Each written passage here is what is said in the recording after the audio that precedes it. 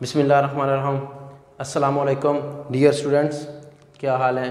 उम्मीद है कि आप खैरियत से होंगे और इससे पहले वाले जितने भी हमने लेक्चर पढ़े हैं, वो आपने अच्छी तरह समझ लिए होंगे और उनका वर्क आपका कंप्लीट होगा।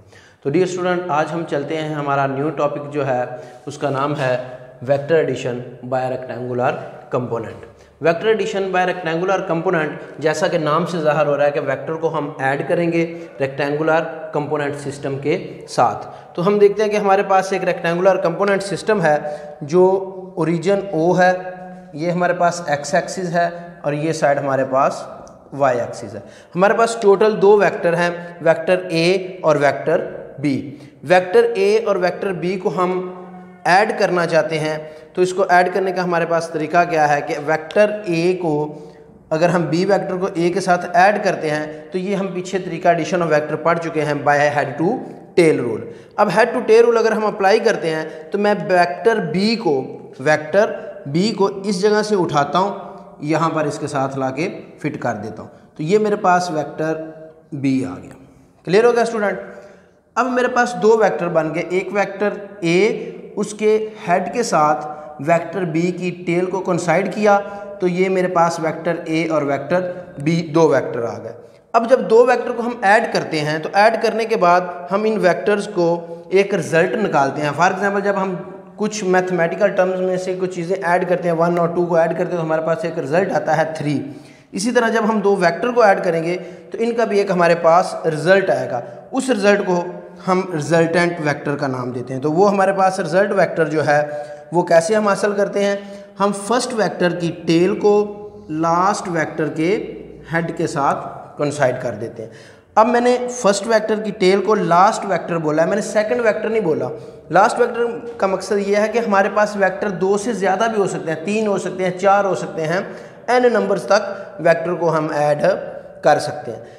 तो जब मैंने ए और बी वेक्टर को ऐड किया ऐड करने के बाद इसका रिज़ल्ट मेरे पास आर आया तो रिज़ल्ट जो आर आएगा वो किसके बराबर होगा? दो वेक्टर्स के सम के वेक्टर ए का और वेक्टर बी का सम तो इसे मैं लिखूँगा ए प्लस बी और ऊपर वेक्टर की साइन आ जाएगी। क्लियर हो गया बेटा? तो अब हमने देखा कि हमारे पास दो वेक्टर थे वेक्टर ए और वेक्टर बी अब इन दो वेक्टर्स को हमने ऐड कर दिया। जब हमने इनको ऐड किया तो ऐड करने के बाद हमें एक तीसरा वेक्टर मिला, जिसे हम वेक्टर आर का नाम देते हैं। जिसे हम वेक्टर आर का नाम देते हैं। तो मैं अगर वेक्टर आर को यहाँ पर ड्रा करूँ तो मेरे पास ये इस तरह आ जाएगा। फॉर एग्ज़ाम्पल ये मेरे पास सिर्फ़ वेक्टर आर है। ये वाई एक्सिस है, ये एक्स एक्सिस है।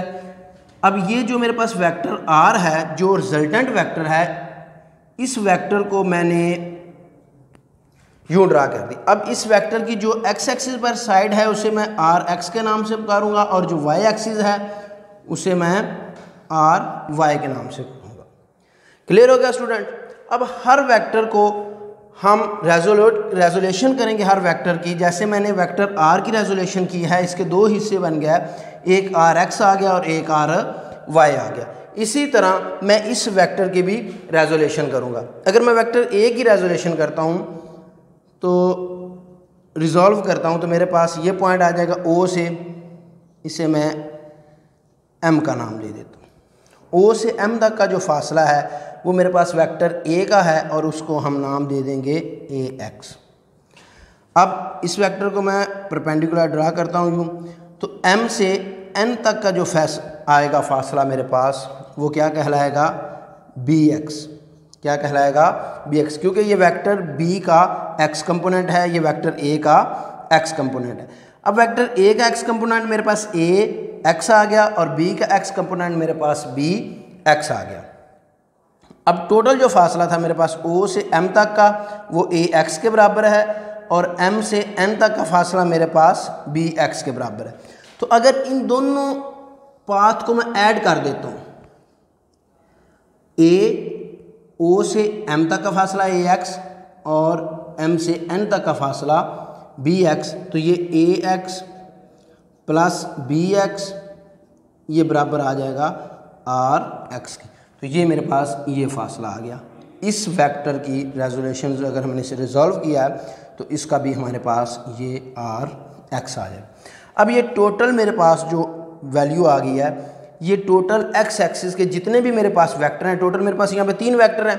वेक्टर ए वेक्टर बी और वेक्टर रिजल्टेंट आर वेक्टर अब इन तीन वेक्टर्स ये जो मेरे पास तीन वेक्टर्स आए हैं, इन तीन वेक्टर्स के X component A X plus B X is equal to R X आएगा। क्लियर हो गया? तो ये लाइन जो है, ये मेरे पास किस चीज़ को रिप्रेजेंट कर रही है? आर एक्स को। अब मैं इसको रेस कर देता हूँ, ताकि क्लियर हो जाए कि ये लाइन मेरे पास किस चीज़ को ज़ाहिर कर रही है? आर एक्स को। इसी तरह जब मैं वाई एक्सिस की बात करता हूँ तो मैं इसको वाई ए वेक्टर को इसको ड्रा करता हूँ तो ये मेरे पास एस आ जाएगा पॉइंट और ये मेरे पास पॉइंट पी आ जाएगा। अब एन से एस तक का फासला किस वेक्टर का है?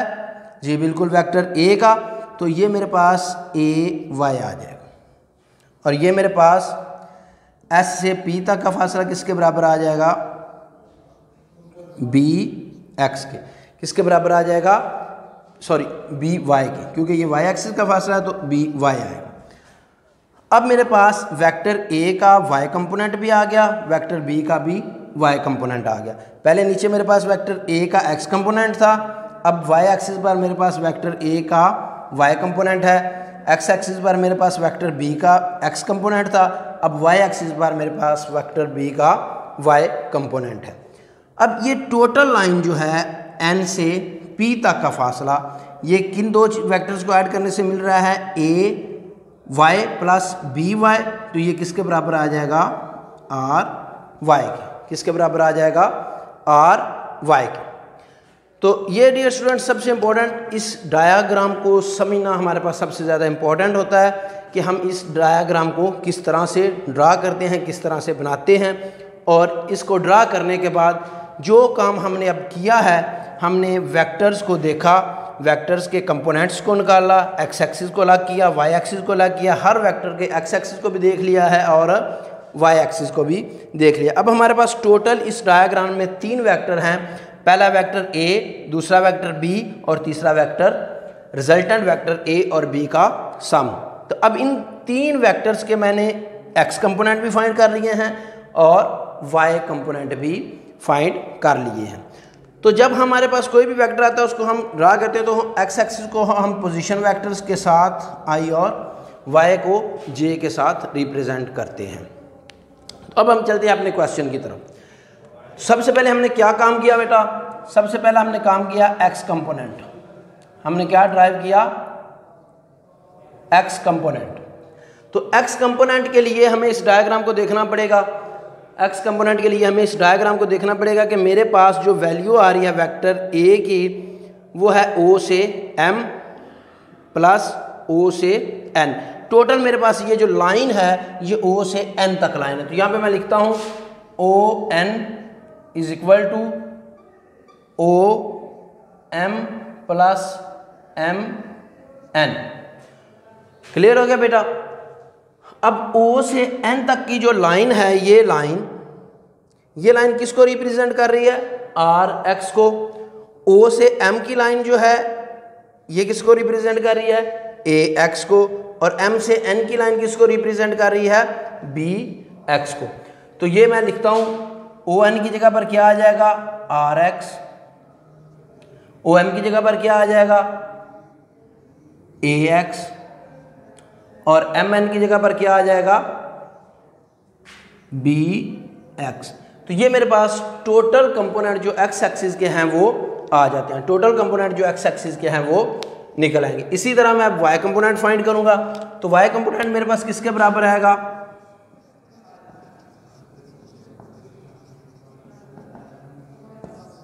वाई कंपोनेंट तो बेटा, ये देखिए हमारे पास इसी तरह एक लाइन है एन से पी तक की। इसी तरह एक हमारे पास लाइन है एन से पी तक का फासला। तो मैं यहाँ पे लिखता हूँ एन पी इस लाइन को मैं दो हिस्सों में डिवाइड करता हूँ एन से एस तक। और एस से पी तक। एन एस प्लस एस से पी तक। एन एस प्लस एस से पी तक। अब जो हमारे पास एन से पी तक का फासला है, ये किसके बराबर है? आर वाई के। और एन से एस तक का फासला किसके बराबर है? ए वाई के। और एस से पी तक का फासला किसके बराबर है? बी वाई के। और ये जो फासला हमारे पास बी वाई के आया है, इस सारे फासले को हम आप अपना डायरेक्शन में लिखते हैं। क्लियर हो गया बेटा? अब एन से पी तक किसके बराबर था?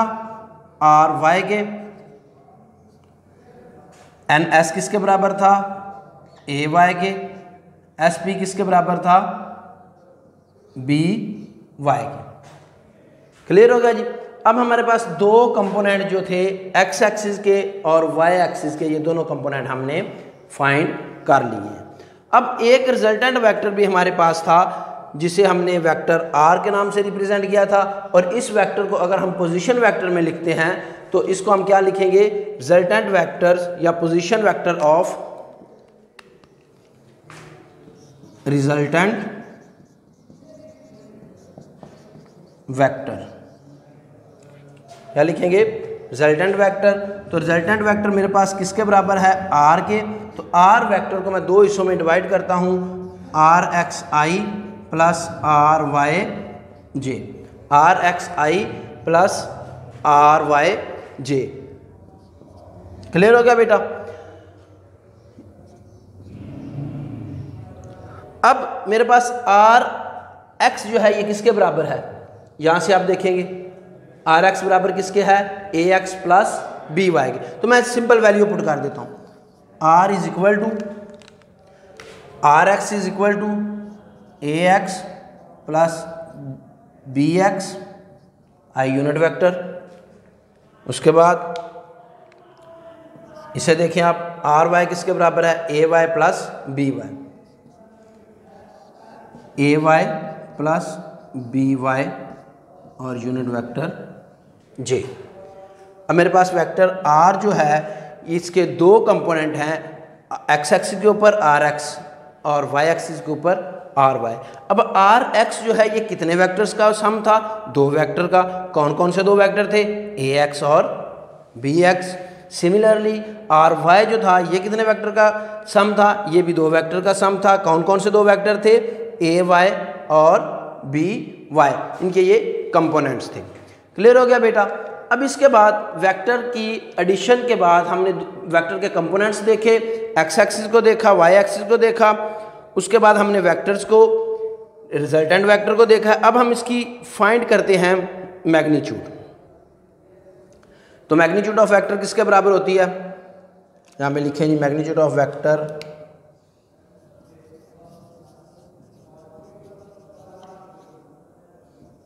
मैग्नीट्यूड तो मैग्नीट्यूड हमारे पास किसके बराबर आएगी? वेक्टर आर है। तो आर वेक्टर की मैग्नीट्यूड आएगी आर एक्स का स्क्वेयर प्लस आर वाई का स्क्वेयर और इसका स्क्वेयर रूट क्लियर हो गया बेटा? R is equal to R X का स्क्वेयर प्लस आर वाई का स्क्वेयर अब इसमें हम यही वैल्यू पुट करेंगे आर एक्स की वैल्यू हमारे पास क्या थी? आर वाई की वैल्यू क्या थी? वो वैल्यू इसमें पुट करें, हमारी मैग्नीट्यूड जो है वो भी निकल आएगी। तो आर जो है, ये किसके बराबर आ गया? आर एक्स बराबर था A X plus B X के। इसका स्क्वेयर प्लस आर वाई किसके बराबर था? A Y plus B Y के। और इसका स्क्वेयर और इसके ऊपर स्क्वेयर रूट ये हमारे पास मैग्नीट्यूड किसी भी वेक्टर की मैग्नीट्यूड आ जाएगी। क्लियर हो गया? अब इसकी मैग्नीट्यूड के बाद हम इसकी डायरेक्शन फाइंड करेंगे। तो direction of vector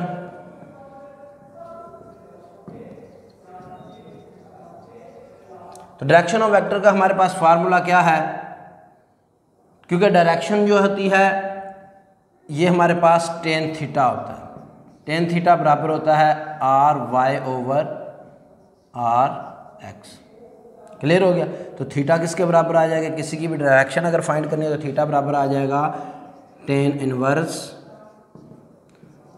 R Y over R X अब यहाँ पर हमें क्या करना पड़ेगा? आर वाई की वैल्यू पुट करेंगे और आर एक्स की वैल्यू भी पुट हो जाएगी। तो हमारे पास tan inverse R X Y किसके बराबर है? A Y plus B Y के। और आर एक्स किसके बराबर है? A X plus B X के। तो ये हमारे पास किसी भी वेक्टर की जब हमने डायरेक्शन फाइंड करनी होती है तो हम उसके वाई कंपोनेंट को एक्स कंपोनेंट के ऊपर डिवाइड करते हैं। जब हम वाई कंपोनेंट को एक्स कंपोनेंट के ऊपर डिवाइड करेंगे तो उसके बाद उसका जो रिज़ल्ट आएगा, वो हमारे पास डायरेक्शन ऑफ़ द वेक्टर आएगा। ये तो जो हमने बेटा काम किया था, सारा, ये सारे का सारा vector addition by rectangular component ये दो वेक्टर के ज़रिए किया था। मैंने वेक्टर ए और वेक्टर बी रखा था। वेक्टर ए और वेक्टर बी को मैंने एक्सप्लेन किया। उसके मैंने पाँच टॉपिक जो थे, पाँच मुख्तलिफ़ चीज़ें उनकी फाइंड की। पहली चीज़ मैंने एक्स कंपोनेंट फाइंड किया। किसी भी वेक्टर का, जितने भी हमारे पास वेक्टर थे, उसका एक्स कंपोनेंट फाइंड किया था। उसके बाद मैंने वाई कंपोनेंट फाइंड किया। फिर मैंने रिजल्टेंट वेक्टर को पोजीशन वेक्टर के तौर पर लिखा। Resultant vector R position vector भी आप इसे कह सकते हैं।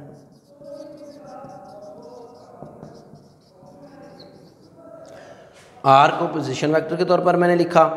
उसके बाद मैंने मैग्नीट्यूड फाइंड की। मैग्नीट्यूड के बाद मैंने डायरेक्शन ऑफ़ वेक्टर को फाइंड किया। ये जो मैंने काम किया बेटा, या आपकी बुक के मुताबिक जो हमारा काम हुआ है ये सिर्फ़ दो वेक्टर्स का था। अब अगला जो मेरा क्वेश्चन है, वो ये है कि क्या हम सिर्फ़ वेक्टर्स को ऐड दो वेक्टर ही कर सकते हैं? या ज़्यादा वेक्टर भी कर सकते हैं। अगर हम ज़्यादा कर सकते हैं तो उसका तरीका क्या होगा? अगर हम दो ही करते हैं तो उसका तरीका तो हमने देख लिया। तो बेटा, जब हम किसी भी तरह का, अगर हम स्केलर क्वांटिटी की मैं नंबर की वैल्यूज़ की आपको बात करूँ काउंटिंग की करूँ, मैं आपको कहता हूँ कि नंबर डिजिट को ऐड करें। तो इसके लिए कोई तादाद नहीं कि आप 10 डिजिट ऐड कर सकते हैं 20 कर सकते हैं 50 कर सकते हैं। इसके लिए किसी किस्म की कोई तादाद नहीं है। आप जितने मर्ज़ी ऐड करते जा सकते हैं। इसी तरह जब हम वेक्टर की एडिशन की बात करते हैं तो वेक्टर की एडिशन जो होती है, इसमें भी कोई तादाद नहीं होती। इसमें आप अनलिमिटेड जितने नंबर आप चाहेंगे ऐड कर सकते हैं। तो in case coplanar vector are more than two vector या coplanar vector A B C in case coplanar vector A vector B vector C and so जब ये हमारे पास दो वेक्टर से ज़्यादा वेक्टर होंगे तो तब हमारा रिज़ल्ट जो है वो क्या आएगा? तो बेटा, इसके लिए हमें फिर अपने मेन टॉपिक की तरफ़ जाना पड़ेगा और उसमें थोड़ी सी हमें तब्दीली करनी पड़ेगी। और इसके अलावा इसका कोई फ़ंक्शन नहीं। अब हम क्या करेंगे? पहले हमने दो वेक्टर्स को ऐड किया था। तो दो वेक्टर को ऐड करने के बाद हमने एक्स कंपोनेंट दो वेक्टर का ही फाइंड किया था। अब हम इसमें अगर ऐड हम करते हैं, तीन वेक्टर करते हैं तो मेरा पास जो रिज़ल्ट आएगा आर एक्स जो रिज़ल्ट मेरे पास आर एक्स आएगा, वो किसके बराबर होगा? For coplanar A X B X C X and so बिल्कुल वही काम किया है टू टे रूल लगाया लेकिन वेक्टर दो से बढ़ गए हैं, तीन हो सकते हैं, चार हो सकते हैं, दस हो सकते हैं, या सो ऑन चलते हैं। इसी तरह अगर मैं y कंपोनेंट को देखता हूँ तो मेरे पास y कंपोनेंट किसके बराबर आएगा? A Y plus B Y plus C Y and so clear हो गया? अब पहले मेरे पास आर एक्स था। अब मेरे पास आर एक्स के तीन कंपोनेंट आ गए। फिर मेरे पास आर वाई के दो कंपोनेंट थे।